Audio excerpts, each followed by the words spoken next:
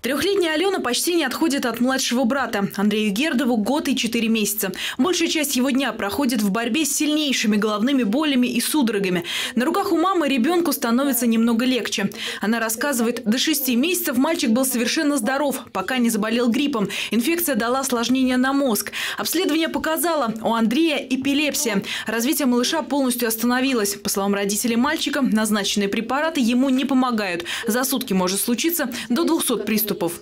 По словам доктора, это смертельная доза для ребенка. То есть детское сердечко, оно не может выдержать таких нагрузок. Хирургическое лечение эпилепсии у детей в Самаре не проводят. Помочь Андрею могут в испанской клинике. Там с этим недугом успешно борются уже 25 лет. В мае врачи готовы принять у себя мальчика. Доктор сказал нам, что у Андрея идет стремительное разрушение головного мозга, которое никак нельзя остановить препаратами. И единственным нашим выходом это будет проведение операции на головном мозге.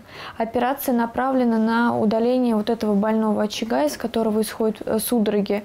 90% вот доктор дает как раз вот э, гарантию, что ребенок вот будет нормальным здоровым человеком. Без этой операции врачи какие прогнозы дают? В ближайший год он умрет, если операцию не сделать. Стоимость операции почти 3,5 миллиона рублей. Часть суммы собрана. Не хватает 1 миллиона 800 тысяч. Сейчас Андреем занимается благотворительный фонд «Радость», с которым телерадиокомпания «Терра» сотрудничает почти два года. Если вы хотите помочь ребенку, отправьте смс со словом «Радость» и суммой платежа на короткий номер 2420. Информацию о всех способах перевода средств также можно найти на сайте фондрадость.рф.